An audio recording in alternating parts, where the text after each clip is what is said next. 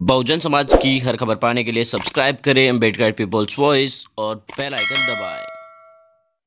और फ्रेंड्स, मैं नोटराम रोडियो आप देखना शुरू कर चुके हैं बेडगार्ड पीपल्स वॉइस। दरअसल आपको बता दें, एक कहावत आपने सुनी होगी कि नित्य रोज नई मुसीबत, यानी हर दिन सुबह आप उठे और उसी दौरान आपके एक नई मुसीबत, यानी नई समस्या लेकर आ जाए। ये बहुत मुश्किल होता है, ये बहुत ज़्यादा होता है, तब जब आप संघर्ष कर रहे हैं। अगर आप किसी संघर्ष, चीज़ के लिए संघर्ष कर रहे हैं, सत्ता के खिलाफ आंदोलन कर रहे हैं तो आपके खिलाफ इस तरीके की गतिविधियाँ हंड्रेड परसेंट श्योर होगी। इसको कोई भी रोकने वाला नहीं है। आपको बता दें कि वर्तमान में इसी चक्कर या भंवर चक्कर के अंदर फंस चुकी है, वो है भीम आर्मी। भीम आर्मी पिछले कई दिनों से देखें तो काफ़ी ज़्यादा भंवर चक्कर में फंसी हुई नज़र आ रही है। आपको बता दें भीम आर्मी के चीफ चंद्रशेखर आज़ाद मंजित सिंह नोटियाल, विनय रतन सिंह और कमल सिंह वालिया। ये चार प्रमुख लोग माने जाते हैं भीम आर्मी। इनके चारों के इर्द गिर्द ही नज़र आती है। इसके अलावा अन्य स्टेटों के प्रभारी वो प्रदेश अध्यक्ष वगैरह है, लेकिन ये चार लोग प्रमुख तौर से देखे जाते हैं। आपको बता दें इन चारों ही लोगों के ऊपर पुलिस ने, सहारनपुर की पुलिस ने, उत्तर प्रदेश की पुलिस ने करीब करीब एक एक व्यक्ति के ऊपर दर्जनों मुकदमे दर्ज कर रखे हैं। आपको बता दें भीम आर्मी के चीफ चंद्रशेखर आज़ाद पर तो करीब पचास से भी ज़्यादा मुकदमे दर्ज हैं।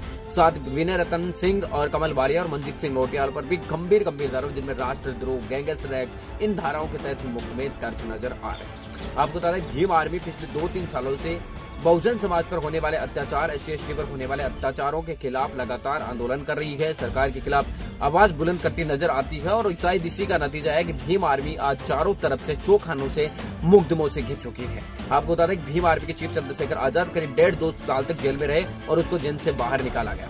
कुछ दिन ही बीते थे कि आपको बता दें कि कमल बालिया और मंजीत सिंह नोटियाल में से गिरफ्तारी हुई। कुछ उनको बाद में जमानत मिल गई और जमानत में बाहर आने के बाद आपको बता दें कि फिर उनको जो सार रविदास मंदिर मामले को लेकर फिर से भीम आर्मी के चीफ चंद्रशेखर आज़ाद और विनय रतन सिंह को जेल में डाल दिया।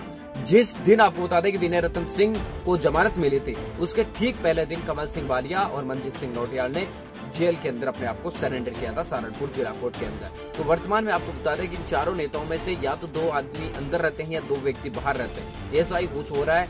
ये लोग चारों के चारों बहुत ही कम चांस में दो साल भीम आर्मी के कार्यकाल को हुए लेकिन उसके बावजूद आपको बता दें कि जब चारों के चारों लोग बाहर रही हो जेल से, ये बहुत ही कम टाइम तक देखने को मिला है। वर्तमान में भीम आर्मी के चीफ चंद्रशेखर आज़ाद भी लगातार कोर्ट में जा रहे हैं, पेशियाँ पर जा रहे हैं। और विनय रतन सिंह भी ऐसा ही कुछ उनके साथ हो रहा है। और इधर आपको बता दें कमल सिंह वालिया और मंजीत सिंह नोटियाल है, वो ऑलरेडी सहारनपुर जिला जो मुख्यालय की जेल है, उसके अंदर बंद है पिछले करीब एक दो महीने से। तो यानी कुल मिलाकर देखा जाए तो भीम आर्मी के जो प्रमुख चार नेता है, वो पूरी तरीके से मुकदमों से घिरे हुए नज़र आ रहे हैं। हाँ इन लोगों पर मुकदमे तभी हट सकते हैं जब इनके फेवर की या इनके समर्थक सरकार कोई आए तो ही या तो बहुजन समाज पार्टी की सरकार आए, या अन्य किसी जो पार्टी है जो इनके समर्थन में पार्टी हो, वही अगर आए तो इन पर मुक्त में हट सकते हैं, वरना इनके लोगों के लिए मुसीबतें कम नहीं हो सकती। मिलेंगे किसी नए वीडियो, नए अपडेटों के साथ, तब तक आपसे लेते विदा। लाइक कीजिए कमेंट कीजिए शेयर करना बिल्कुल ना भूलिए। अगर आपको वीडियो पसंद आया